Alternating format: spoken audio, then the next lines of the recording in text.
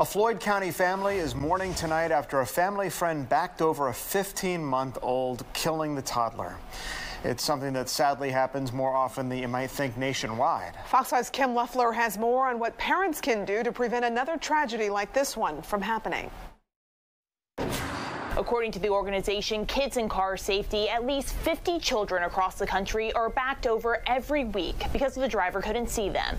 Advocates say there are safety measures parents can put in place to keep their kids safe. Every single child fatality that comes across our desk is just as devastating as the one before. Amber Rollins with Kids in the Car Safety was heartbroken to hear a 15 month old in Floyd County died after being struck by a car as it backed out of the driveway.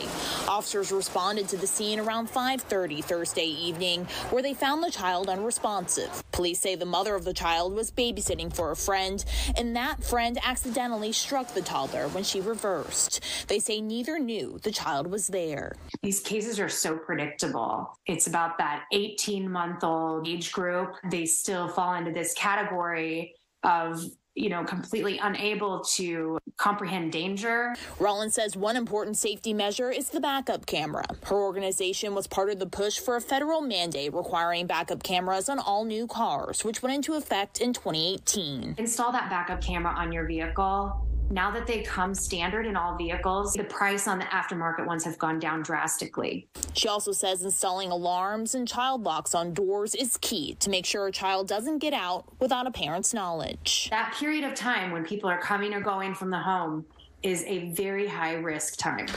So families should child-proof their homes. They're quick, you know, these tragedies always happen so quickly. That's what parents always tell us. They were just there and then they weren't and it can happen to anybody. Floyd County Police say charges are not expected to be filed in the 15 month old's death.